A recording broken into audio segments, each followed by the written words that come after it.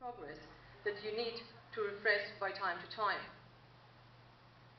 Once this has been done, and once you know and you focus on the, uh, on the, on the risk analysis in two things, one, the sustainability, the, the cost efficiency, and the marketing value, then you can create a long-term sustainability plan and set offsetting targets. When you know the project and where to actually buy the credits, that needs to be done when a full assessment of offset projects, which is going to be an ongoing process, will be in place. That will help to be familiar with offsetting. This should be monitored uh, on an ongoing basis, as you will do with the measurement and the reduction.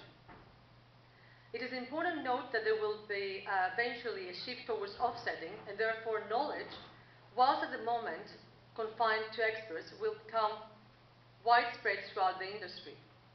Being aware of carbon markets and encouraging the organization to consider this and conduct a level of ongoing research so that this is on your radar will be prepare you for the future. Some maritime companies have already started this progress. A case study we have here is the Norwegian Cruise Lines. Everyone knows that cruise lines consume huge amount of fuel.